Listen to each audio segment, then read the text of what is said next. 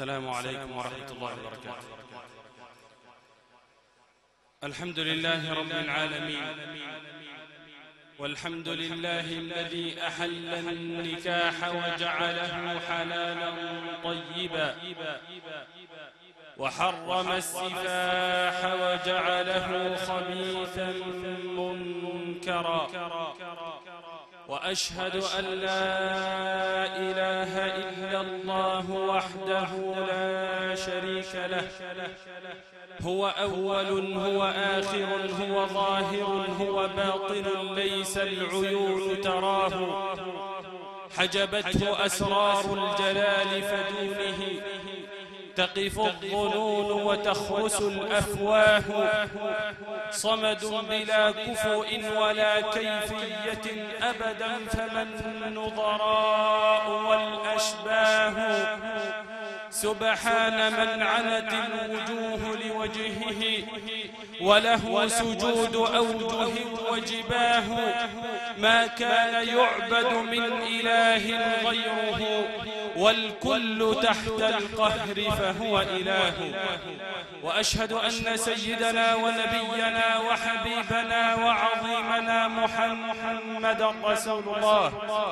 اللهم صل وسلم وبارك عليه وعلى آله وأصحابه ومن تبعهم بإحسان إلى يوم الدين. نحتفل اليوم بحفل زفاف أخي وصديقي الأستاذ أسامة محمد صالح آل عبد الرحيم. أسأل الله العلي العظيم أن يتم هذا الزواج على خير وأن يجعله زواجا مباركا وأن يبارك للعروسين وأن يبارك عليهما وأن يجمع بينهما في خير.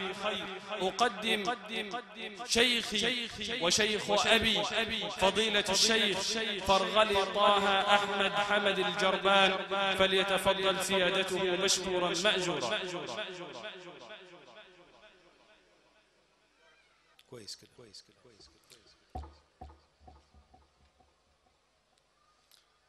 أولا كما تعودت. أقول أعوذ بالله من الشيطان الرجيم. لكي يخرج الشيطان من بيننا إن شاء الله. أعوذ بالله من الشيطان الرجيم. بسم الله الرحمن الرحيم. الحمد لله والصلاة والسلام على سيدنا رسول الله وعلى آله وصحبه ومن والاه. وبعد. وبعد وبعد الإخوة الحضور جميعا نشكركم لإجابة الدعوة. ثم أحييكم بتحية الإسلام. ألا وهي السلام عليكم ورحمة الله وبركاته. وأقول لكم جميعا العاقبة عندكم في المسرات إن شاء الله. العاقبة عندكم في المسرات إن شاء الله. هذا شكر بالنسبة لي الأخوة المدعوين الحضور جميعا. ثانيا أهنئ ابني وابن أخي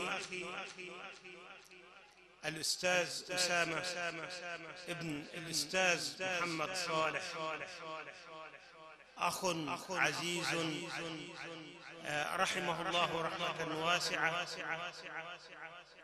الأستاذ محمد صالح له مكانة كبيرة في نفسي. لأن لأننا حتى افترقنا من القاهرة في آخر سنة كنا نسكن معا.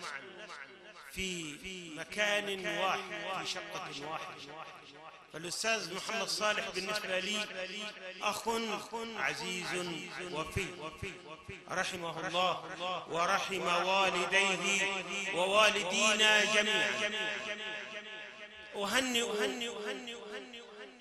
العريس وآل العروسة وأقول لهم وأقول لهم وأقول لهم جميعا أرجو الله سبحانه وتعالى أن يجعل هذا الزفاف مكللا بالنجاح وبالرفاء والبنون إن شاء الله. بالرفاء والبنون إن شاء الله. وأقول كما قال رسولنا صلى الله عليه وسلم إذ وجه نداء للشباب منذ فجر الإسلام. منذ شريعة الإسلام.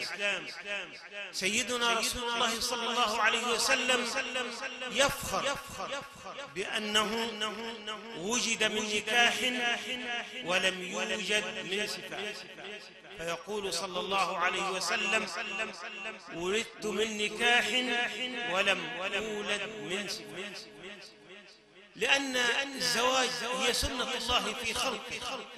من لدن آدم عليه السلام وإلى أن تقوم الساعة. إلى أن تقوم الساعة. فالنكاح سنة في الإنسانية. حتى قبل الإسلام. سنة إسلامية لأن الله سبحانه وتعالى حين خلق أبونا آدم عليه السلام.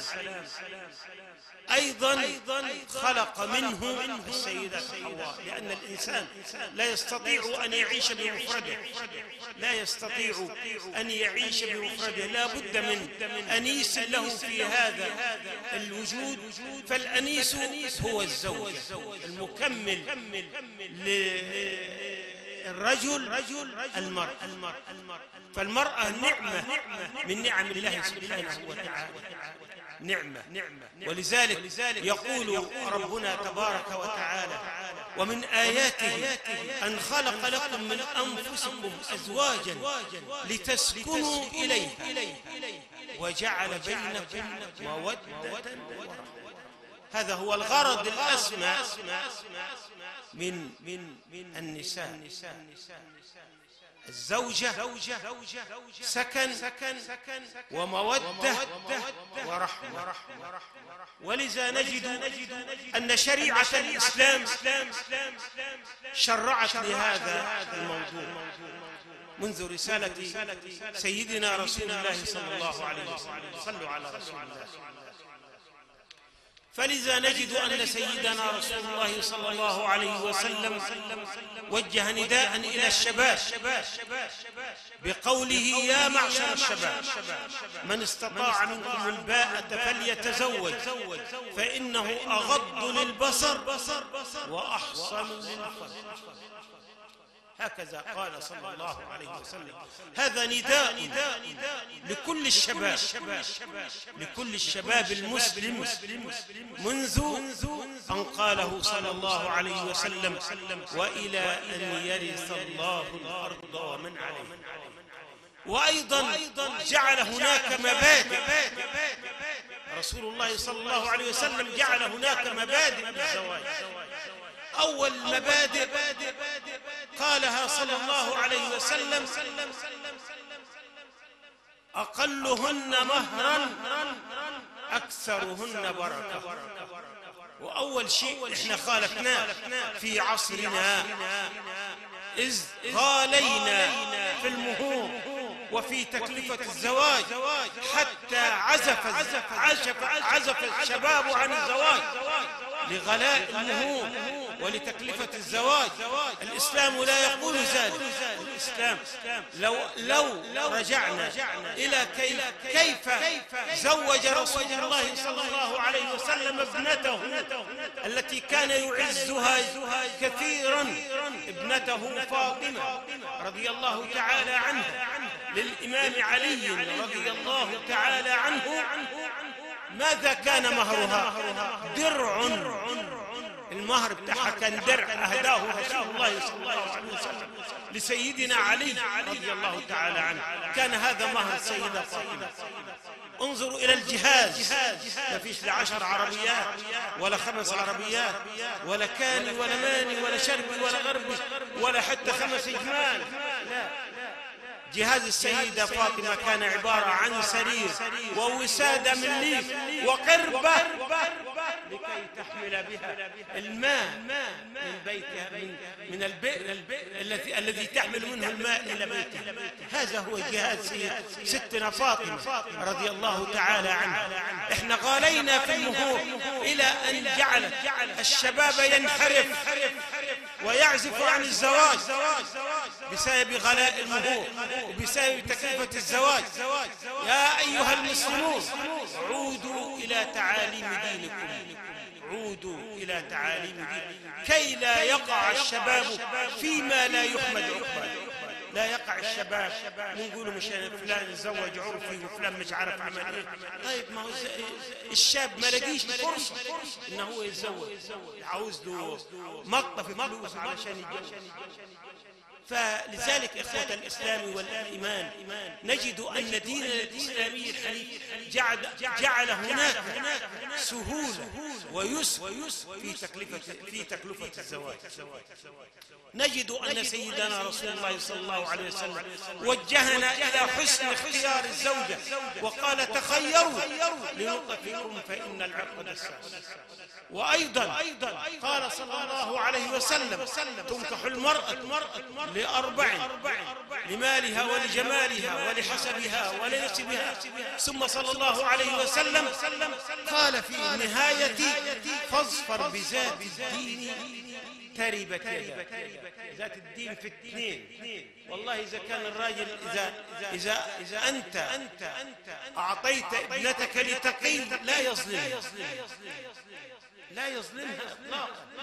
ليه؟ لأنه قال إذا جاءكم شوف إذا جاءكم من ترضون خلقه ودينه فزوجوا هذا الإسلام دين سهولة ودين يسر.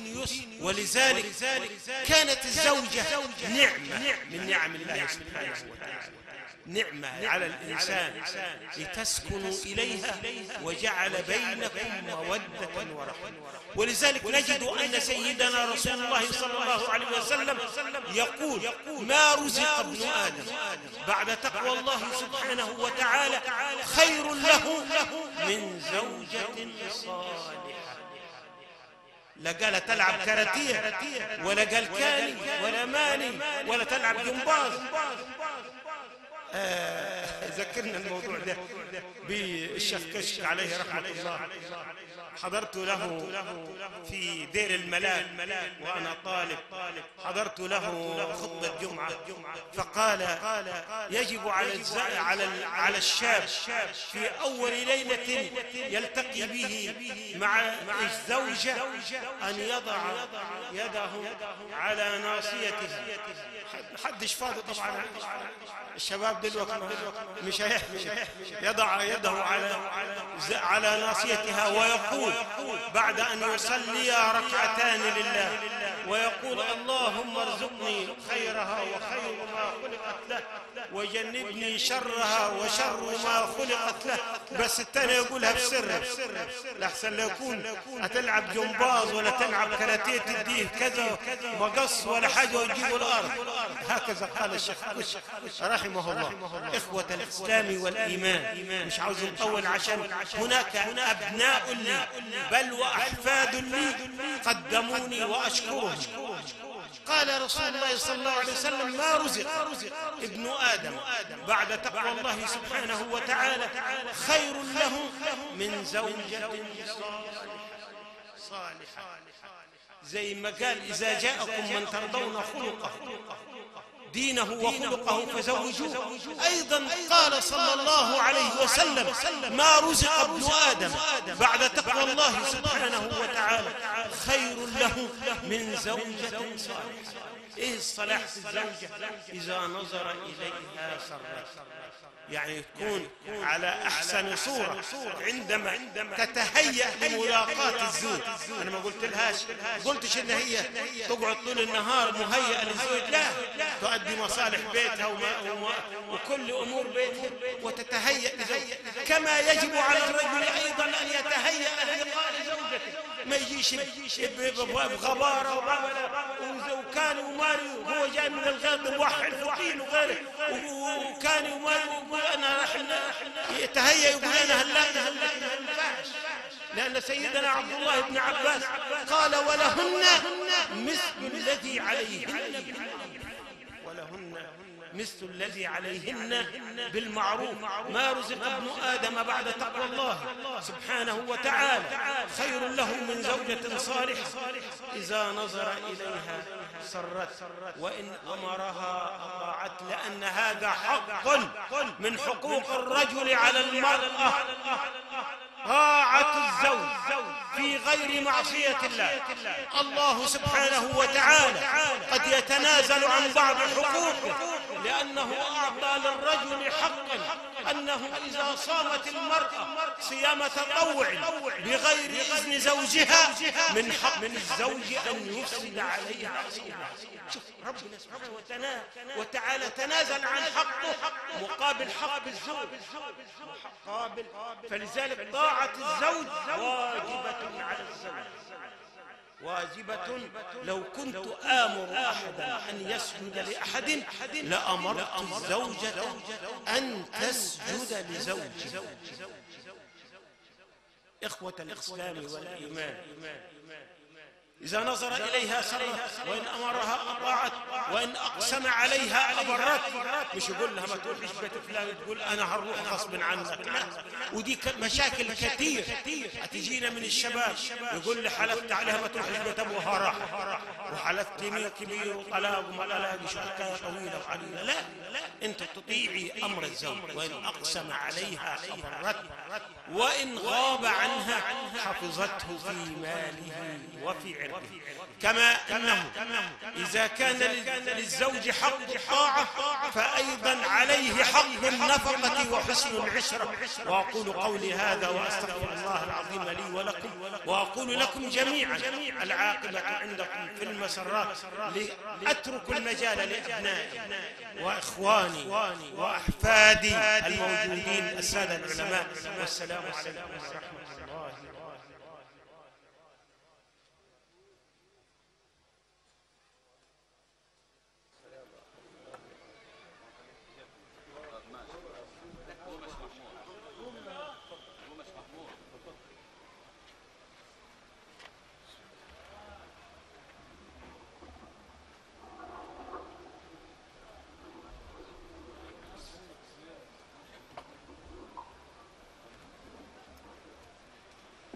أعوذ بالله السميع العليم من الشيطان الرجيم. بسم الله الرحمن الرحيم. الحمد لله الذي لم يتخذ ولدا ولم يكن له شريك في الملك ولم يكن له ولي من الذل وكبره تكبيرا. لك الحمد ربنا حمدا كثيرا طيبا مباركا فيه. عدد خلقك ورضا نفسك وزنة عرشك ومداد كلماتك وأشهد أن لا إله إلا الله. وحده لا شريك له. له. الملك وله الحمد. يحيي ويميت وهو على كل شيء قدير. هو الأول والآخر والظاهر والباطن وهو بكل شيء عليم. لا تدركه الأبصار. وهو يدرك الأبصار وهو اللطيف الخبير. ليس كمثله شيء وهو السميع البصير. وأشهد أن سيد الأولين والآخرين محمد. نبي الرحمة هادي الأمة كاشف الغمة أرسله ربه رحمة وهداية للعالمين. فقال جل جلاله وما أرسلناك إلا رحمة للعالمين. يا بائعا في أرض طيبة عنبرا. بجوار أحمد لا تبيع العنبرا. إن الصلاة على النبي وآله. يشدو بها من شاء أن يتعطر صلوا على خير البرية تغنموا. عشرا يصليها المليك الأعظم. من زادها ربي يفرج همه. والذنب يعفى والنفوس تنعم. اللهم صل وسلم وزد وبارك على سيدنا محمد وعلى آل بيته الطيبين الطاهرين. وارض يا ربنا عن صحابته الكرام الأخيار الأبرار. وارض عن تابعيهم بإحسان. وارض عنا كما رضيت عن الجميع إلى يوم الدين يا رب العالمين. أما بعد أيها الجمع الطيب السلام عليكم ورحمة الله وبركاته. طبتم وطاب ممشاكم وطاب سعيكم وتبوأتم من الجنة منزلا. وأسأل ربي العلي القدير الذي جمعنا في هذه الساعة في هذا المكان أن يجمعنا سويا مع سيد النبيين وإمام الدعاة محمد. يشملنا بشفاعته. ونحشر تحت لوائه.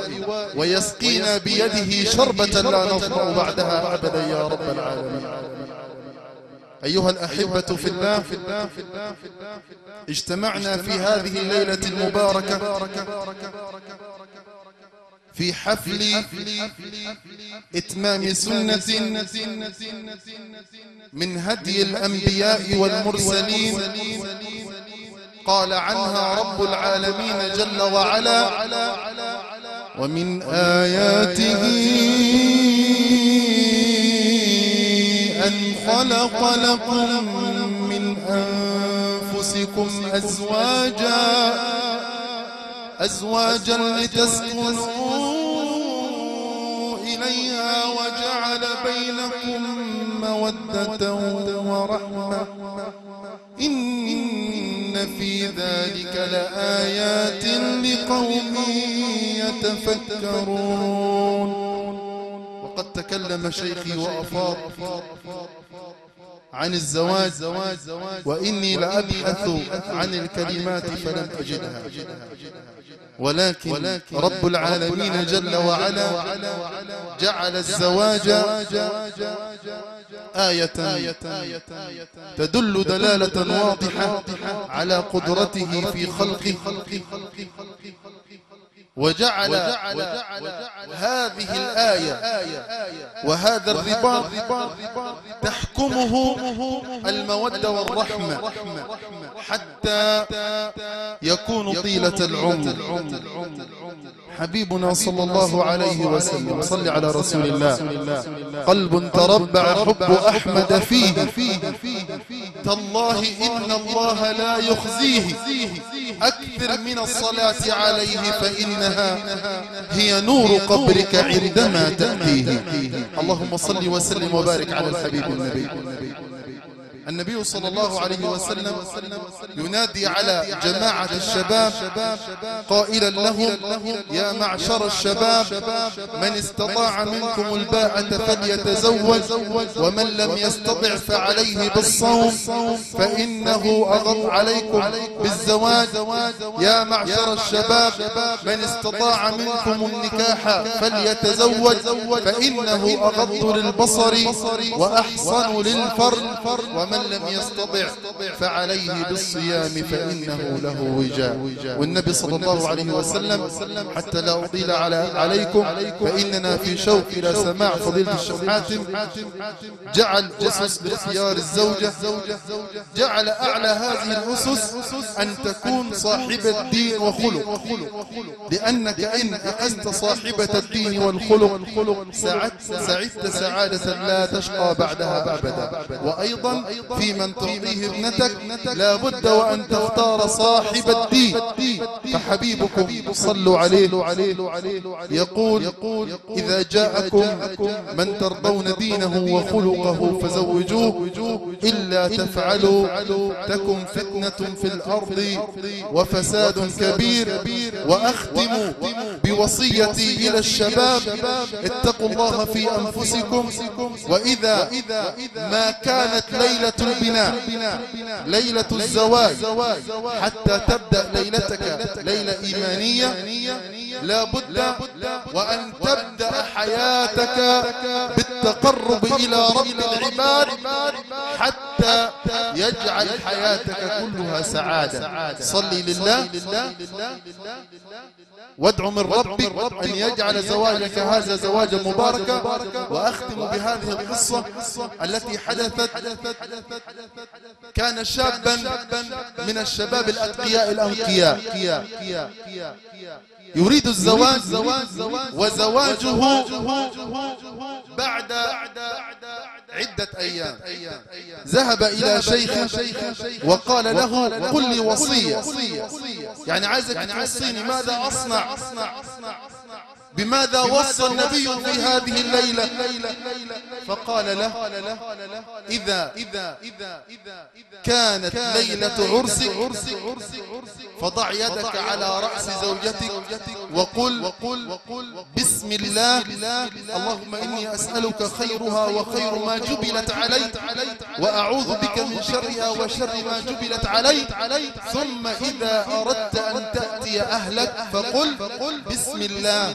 اللهم جنبنا الشيطان وجنب الشيطان ما رزقنا. طبعا الشاب قاعد الفترة اللي قبل الزواج يكرر ويردد إلى أن أتت ليلة العرس طبعا هو لما خطب زوجته نظر إليها كما أمر النبي ولكنها تغيرت ليلة العرس. فلما دخل ووجدها على مقدار كبير من الجمال.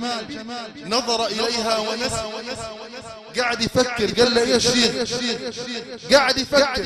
لغاية ما وصل وقال إيه؟ سبحان الذي سخر لنا هذا وإنا إلى ربنا لمنقلبون. الزوجة كانت صالحة.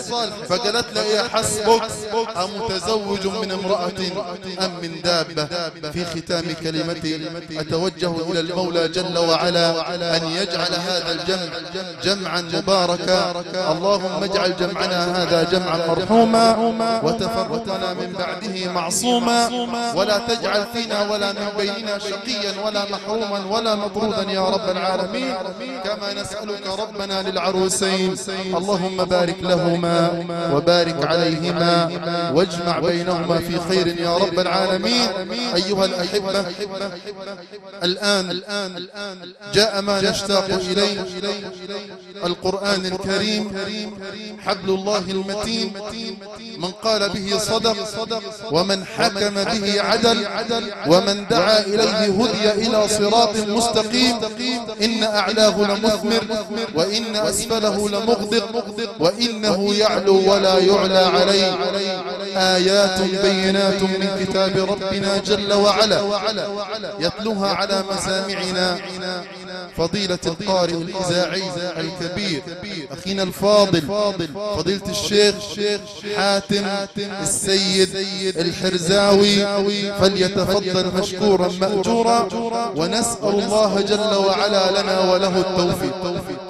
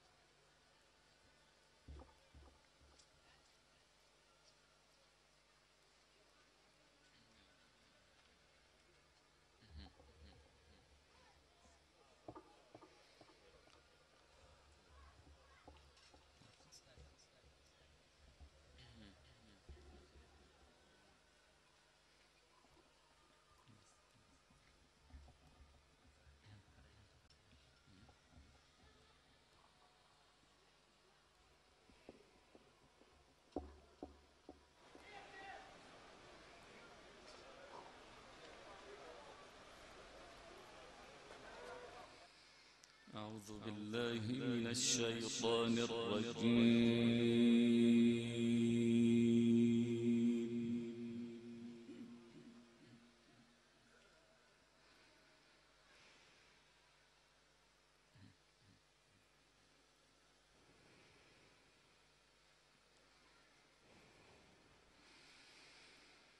بسم الله الرحمن الرحيم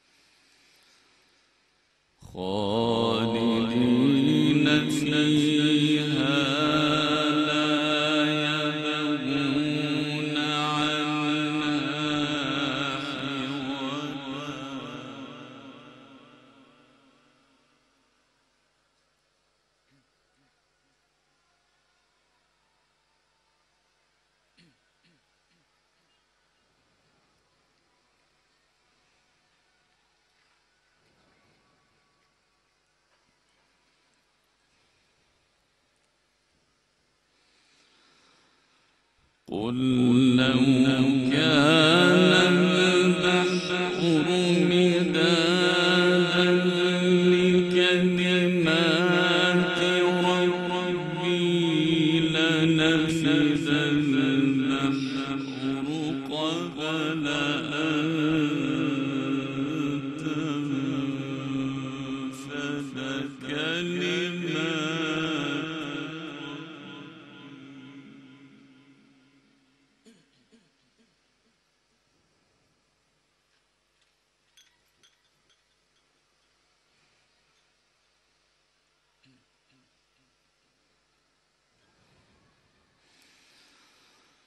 alone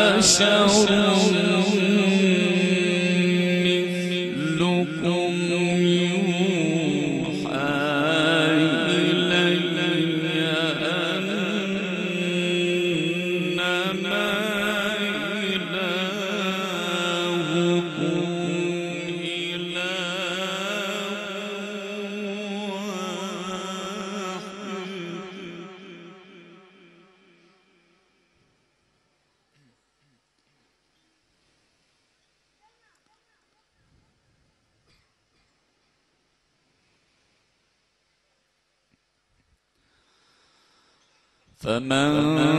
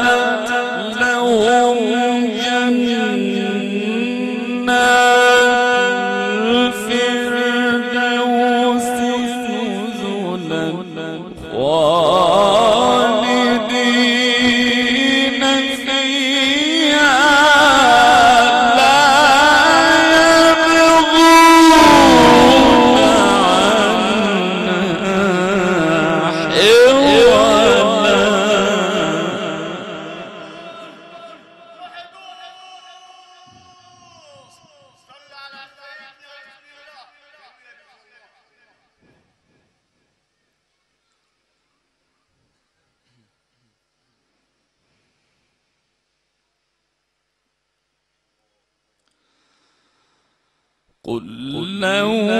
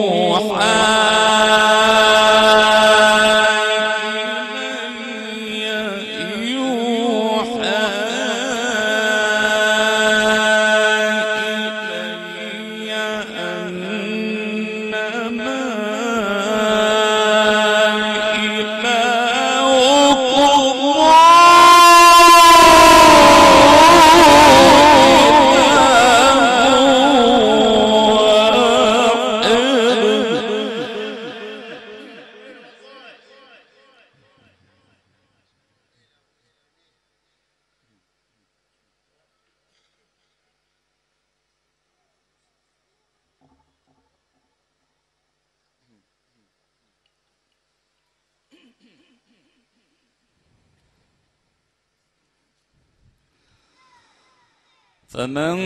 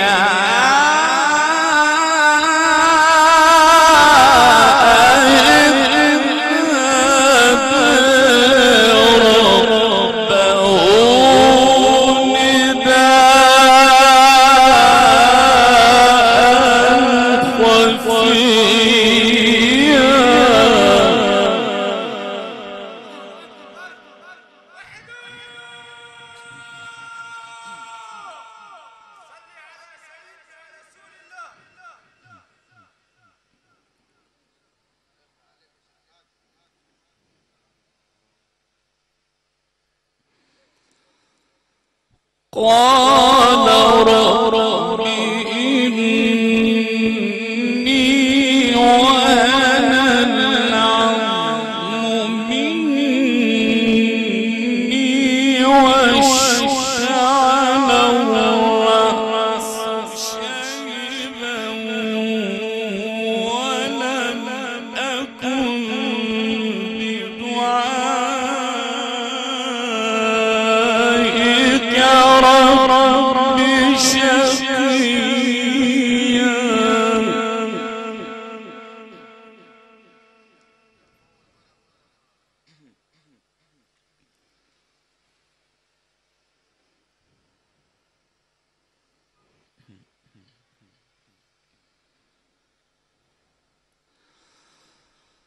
قل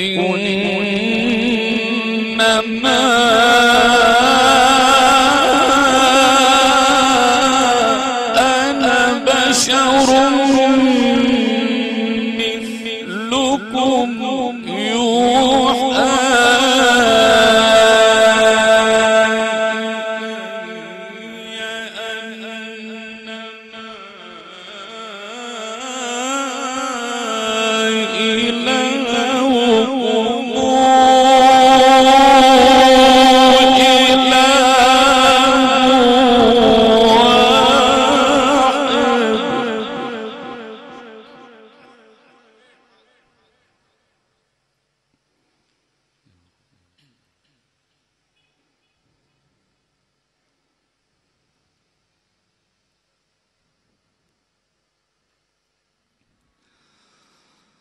فمن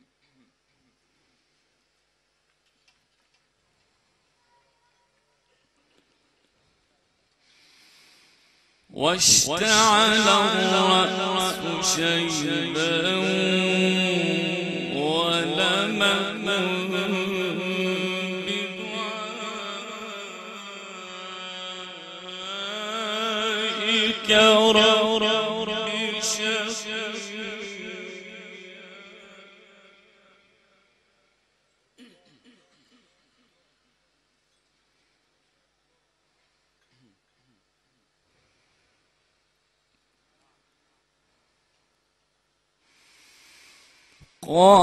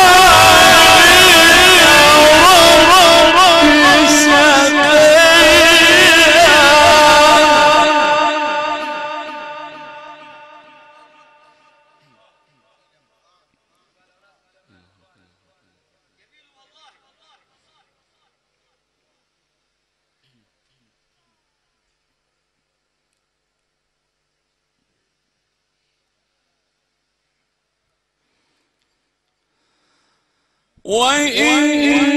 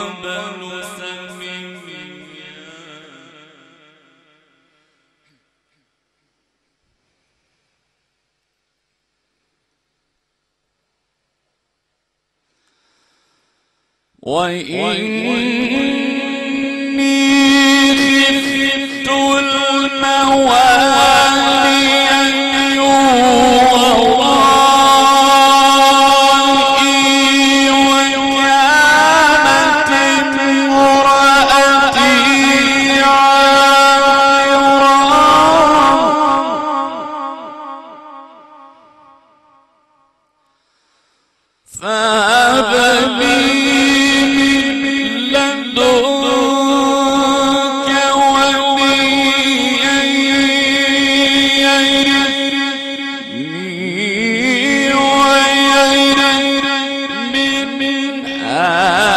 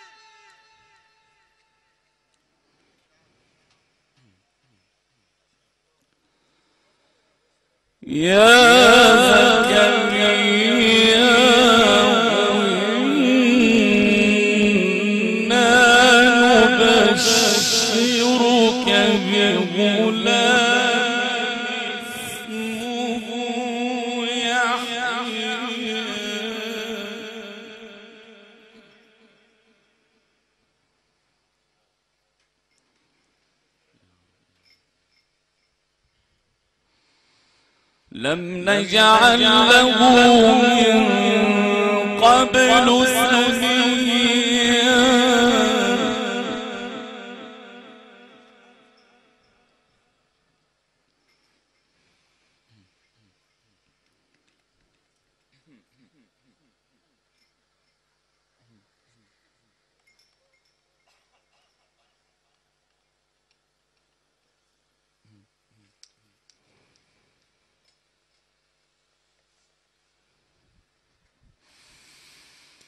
وإني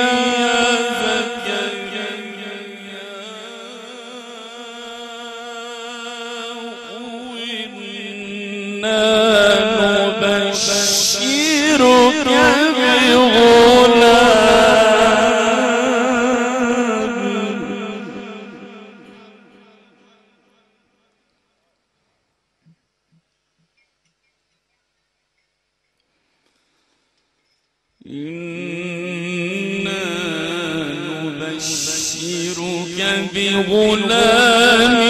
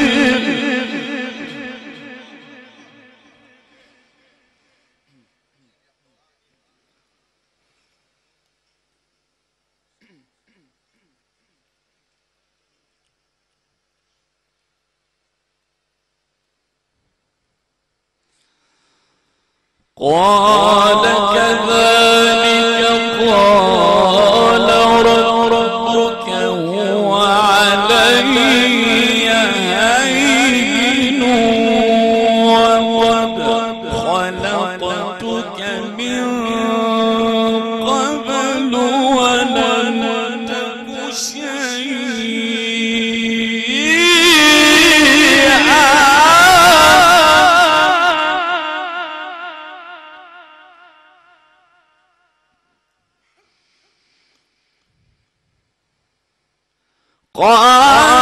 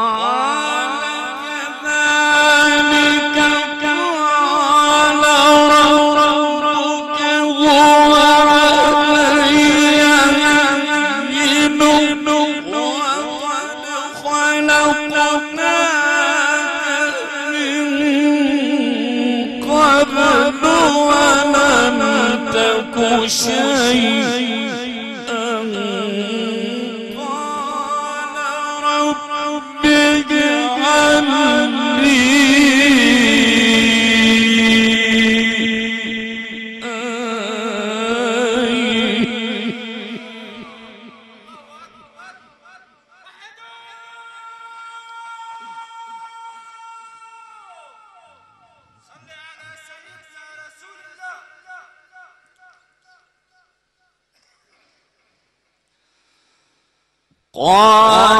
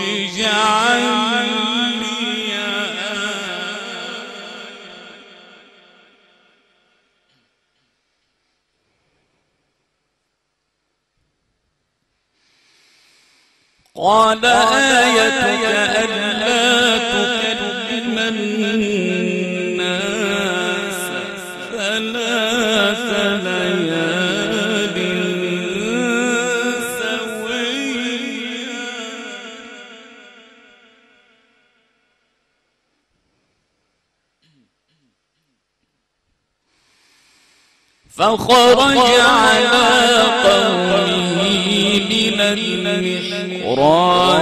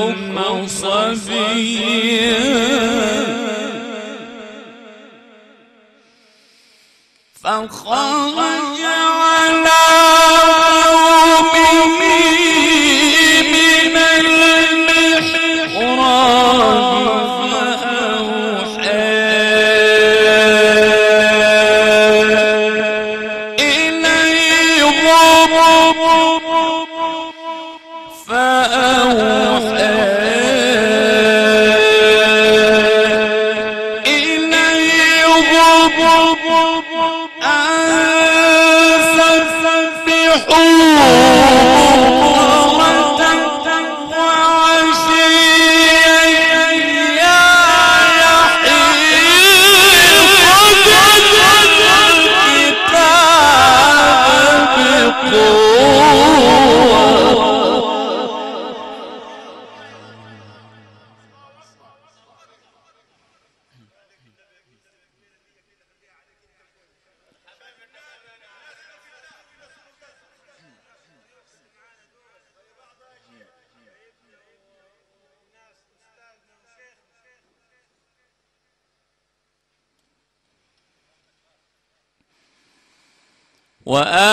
وآتيناه الحكم صبيا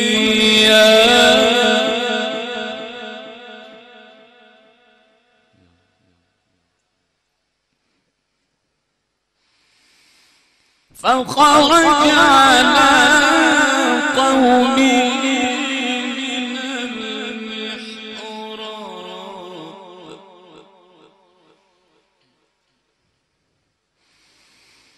فخرج على قومه.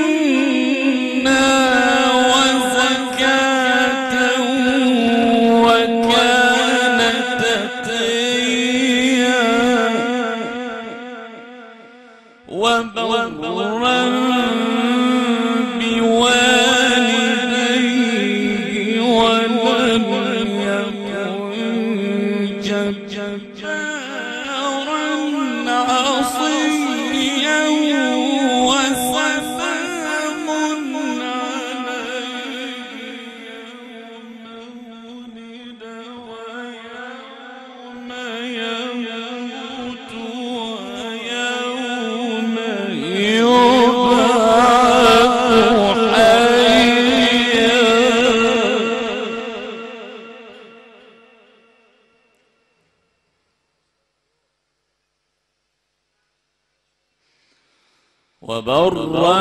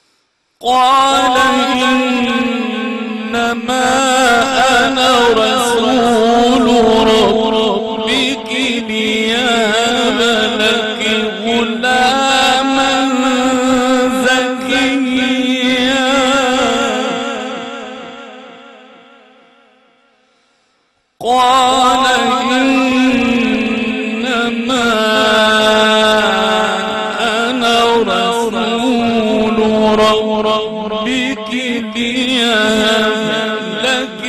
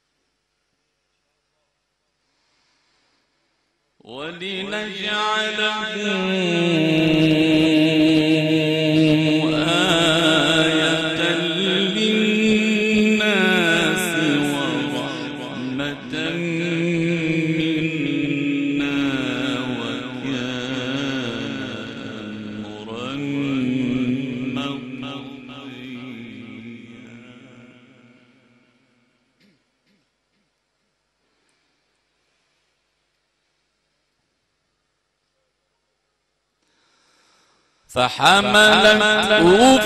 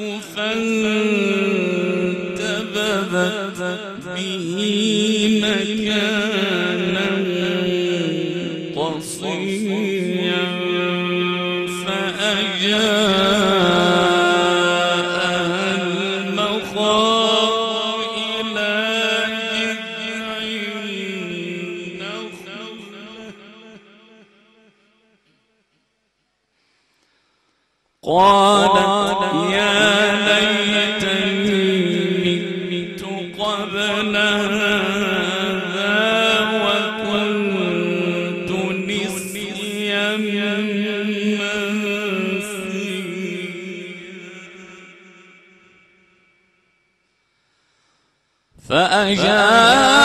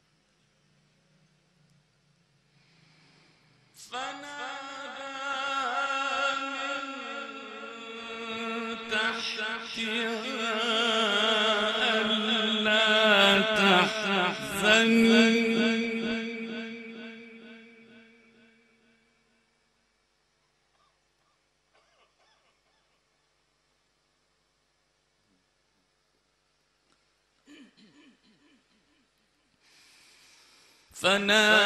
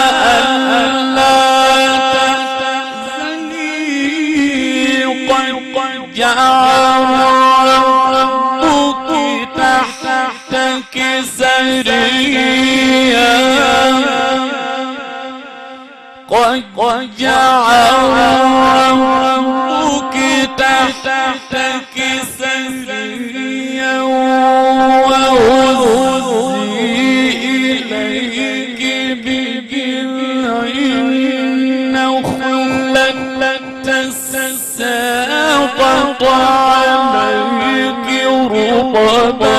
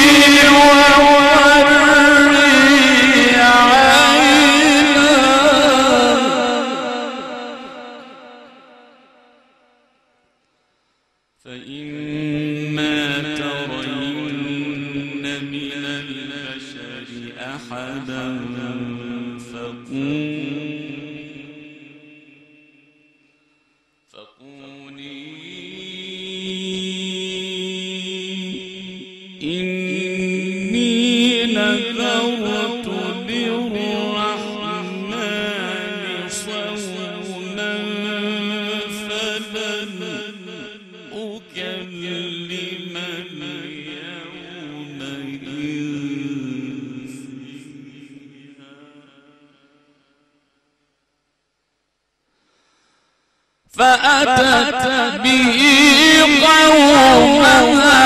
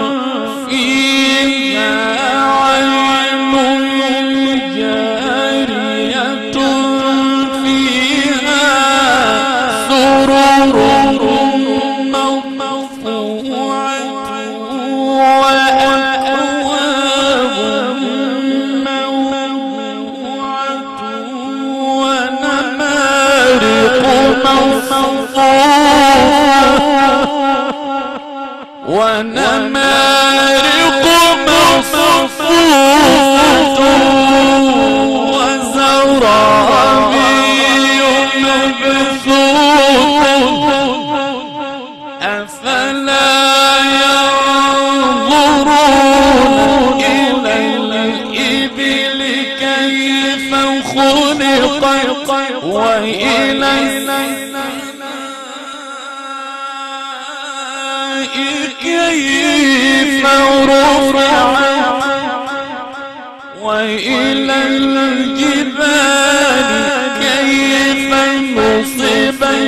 وإلى الأرض كيف صفحت؟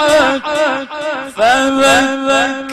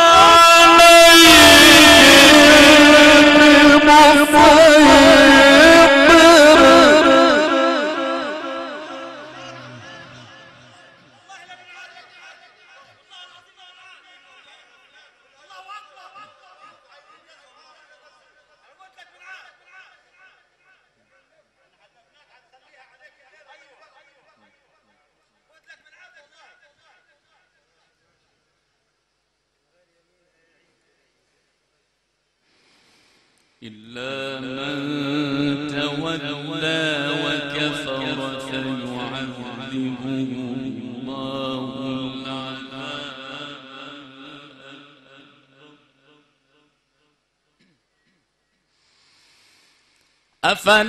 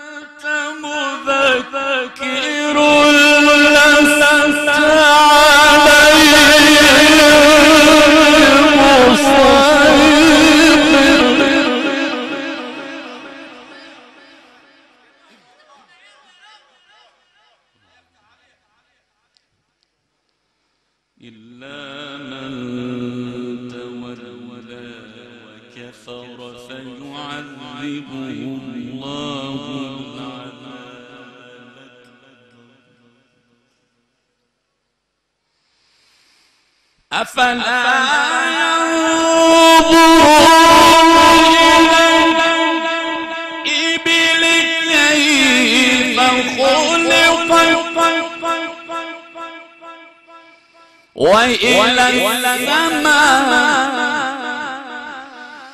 وإلى السماء.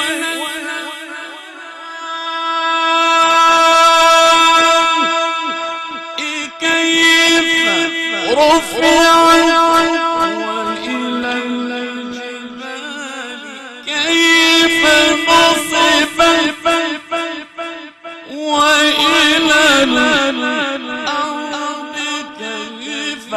وطيحت فففففف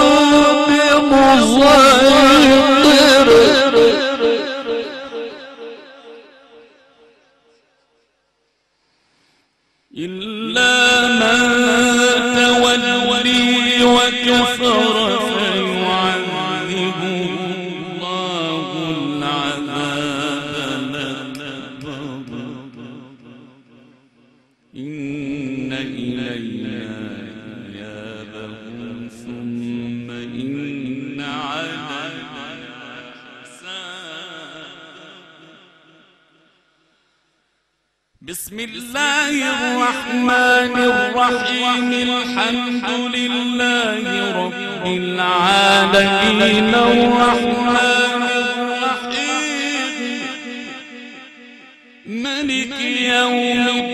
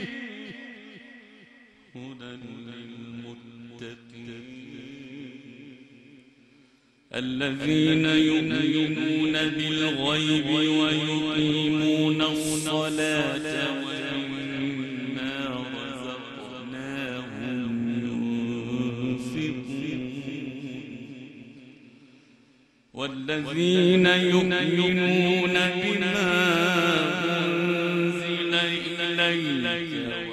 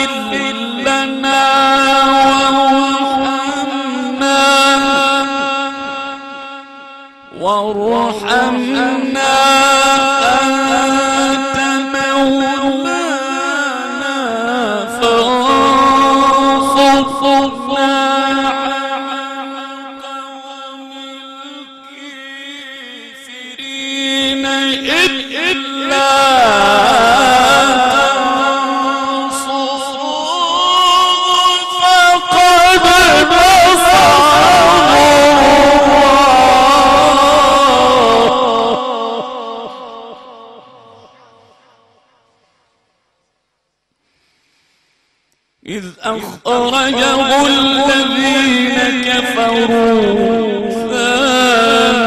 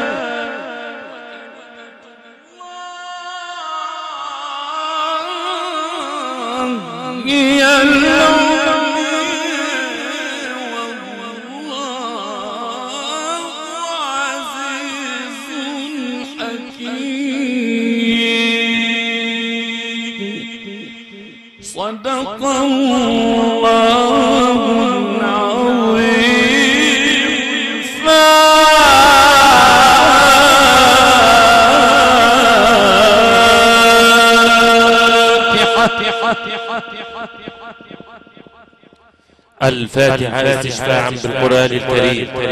وبسيدنا محمد صلى الله عليه وسلم. بسم الله الرحمن الرحيم. الحمد لله رب العالمين. الرحمن الرحيم. مالك يوم الدين. إياك نعبد وإياك نستعين. اهدنا الصراط المستقيم. صراط الذين أنعمت عليهم غير المغضوب عليهم. ولا الضالين آمين. من آيات الله البينات. اختتم فضيلة القارئ الإذاعي الشيخ حاتم السيد الحيزاوي. إحياء هذا الحفل الكريم المبارك. احتفالا واحتفاء لحفل زفاف الأستاذ أسامة محمد صالح. أحمد عبدين عبد الرحيم. على كريم المرحوم أبو الوفا محمد عبد العزيز جمعة. عائلة آل عبد الرحيم بالحريدات الغربية مركز المنشاة محافظة سوهاج. الهندسة الإذاعية وموصلات صوتية. أولاد الشيخ رضوان الحسن بالشوولة مركز المنشاة محافظة سوهاج. الفراشة والإنارة مقادير توليد وديزل بانوراما خلفية. فراشة المعلم نبيل بالحريزات الغربية. والإنارة ومقادير التوليد والديزل المهندس كمال رشد عبد الرحمن بالحريزات الغربية. أيها السادة المؤمنون الموحدون العاقبة عندكم في المسرات جميعا. إلى أن نلتقي على خير.